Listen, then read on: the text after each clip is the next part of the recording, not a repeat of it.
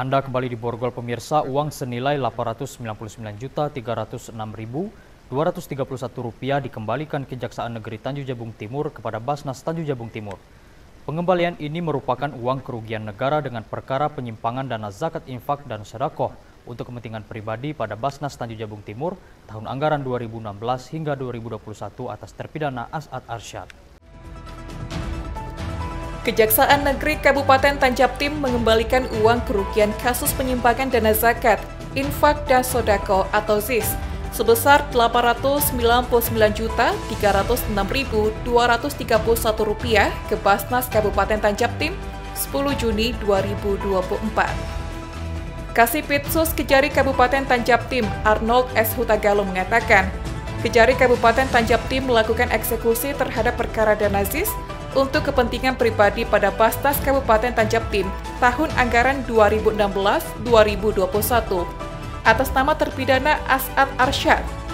Berdasarkan putusan pengadilan tindak pidana korupsi pada Pengadilan Negeri Jambi nomor 39 garing Pitsus TPK garing 2023 garing PN Jambi tanggal 8 Mei 2024 dengan pidana penjara selama 2 tahun 6 bulan yang mengakibatkan kerugian negara sebesar Rp899.306.231 di mana perbuatan terpidana tersebut melanggar pasal 3 Undang-Undang Nomor 31 Tahun 1999 tentang pemberantasan tindak pidana korupsi, Junto Undang-Undang Nomor 20 Tahun 2021, perubahan atas Undang-Undang Nomor 31 Tahun 1999 Junto pasal 55 ayat 1 ke 1 KUH Pidana. Dirinya menegaskan bahwa pihaknya dari Kejari Kabupaten Tanjab Tim mengembalikan kerugian negara berdasarkan putusan yang diserahkan kepada Basnas Kabupaten Tanjab Tim yang langsung diterima oleh Ketua Bastas Syarifuddin.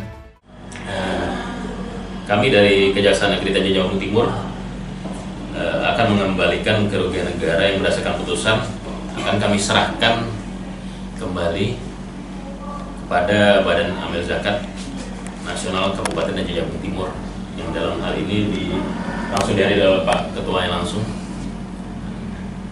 Mudah-mudahan dengan pembalian ini dana ini bisa digunakan oleh Badan Amil Zakat Nasional Kabupaten dan Jabung Timur dengan lebih baik ke depannya. Sementara, Ketua Basnas Kabupaten Tanjab Tim Syarifuddin, usai menerima pengembalian ratusan juta kerugian negara tersebut menuturkan, bahwa uang tersebut akan langsung dimasukkan ke rekening peminjaman melalui Bank BPD Jambi. Selanjutnya, Basnas Kabupaten Tancap Tim akan menyalurkan kepada mustahak atau yang berhak menerima. Alhamdulillah, uang pengembalian ini langkah awal kami akan store ke rekening eh, peminjaman di BPD. Selanjutnya Basnas akan mensalurkan kepada yang berhak menerima, pada yang mustahak. Ya, sudah, ya nah, itu selanjutnya ada lagi eh, bakal ada pengembalian lagi atau belum dapat informasi hmm. berarti kita masuk ke rekening Basnas ya? Basnas ya. di Basnas itu ada rekening pinjaman ada rekening zakat ada rekening infak oh berarti artinya uang ini uang hmm. di rekening pinjaman nih iya Rama Admiral, Cek TV melaporkan.